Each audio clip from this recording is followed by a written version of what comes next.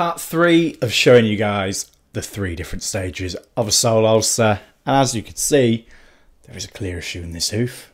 And I'm going to show you now the overburdening outside wall, which has caused this issue. Now, every time this gal is walking, she is putting excess weight on this hoof.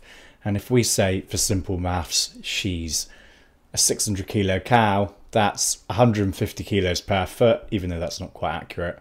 And that is 75 kilos per toe. But actually, she's probably more like 100 kilos on that one toe. And that is causing her some serious, serious issues.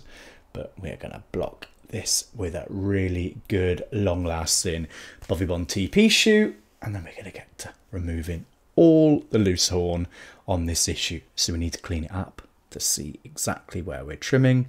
And as you can see, this is a really obvious sole ulcer